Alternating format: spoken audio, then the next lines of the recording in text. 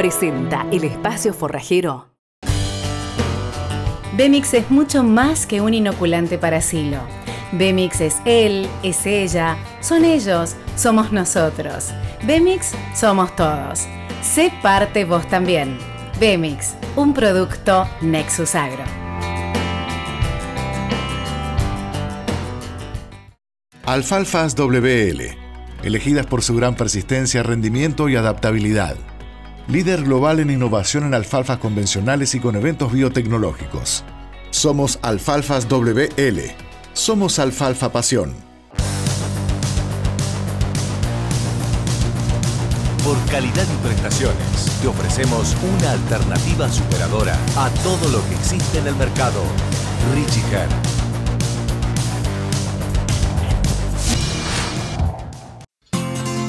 Somos KWS, especialistas en genética y agronomía para tu campo.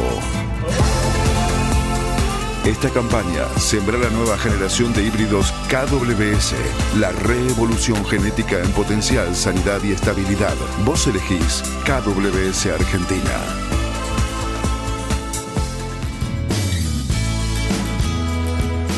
Hola, muy buenos días, bienvenido a un nuevo espacio forrajero. El tema que nos ocupa en esta época lo vemos todos los años, pero este año tenemos un tiro para, para asegurar la producción de los próximos cuatro con la siembra de alfalfa.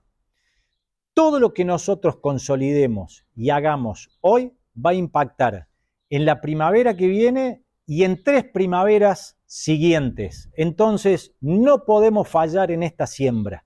Muchas veces mezquinamos pasada, muchas veces mezquinamos kilos, empezamos a ver la semilla más barata, pero no nos olvidemos que todo esto lo tenemos que dividir por cuatro, que es el promedio de años de uso de alfalfa. Entonces las decisiones estratégicas de este momento nos van a impactar mucho hacia adelante. Si hablamos de densidad de siembra, claramente, si podemos trabajar en doble pasada, superemos los 18 kilos de siembra. Si nosotros no podemos trabajar en doble pasada, no superemos los 16 kilos de siembra porque si no vamos a tener un sobre raleo o un auto raleo demasiado excesivo. Si vamos a hacer doble siembra, lo ideal, y bueno, una sembradora 17 y medio, correr con un piloto automático a 8 centímetros.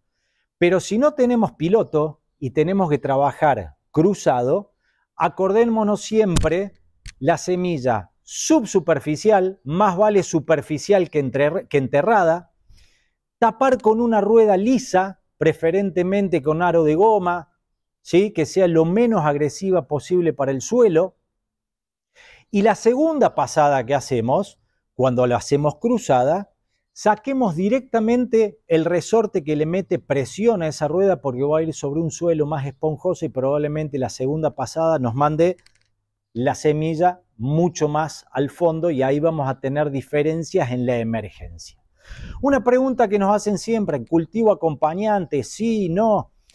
A ver, ¿lo necesitas al cultivo acompañante? Punto número uno. Estás en una zona donde tenés mucho autorraleo de alfalfa, en donde el cultivo acompañante te va a permitir en el último año de uso de la alfalfa tener superficie cubierta. Si la respuesta es sí, ponela. Si la respuesta es no, yo prefiero trabajar con alfalfa pura. ¿Por qué? Bueno, porque cuando se me vaya el cultivo acompañante, yo voy a tener un espacio libre que me va a ocupar la maleza. Entonces, Cultivo acompañante, si no tenés mucho autorraleo y querés tener una superficie de alfalfa pura bien densa, solamente alfalfa, no cultivo acompañante porque este se me va en el primer año de uso. Y respecto a los grupos, si es pastoreo, metele de 9 para arriba y si es para forraje conservado, de 8 para abajo. Todos estos consejos y todo lo que venimos hablando siempre en nuestro perfil de Instagram de Espacio Forrajero o en el canal de YouTube de Campo Directo. Blade, repuestos para picadoras de forrajes. Importador exclusivo en Argentina, Cabezales Domay. Blade, en todo lo que hacemos, crecemos juntos.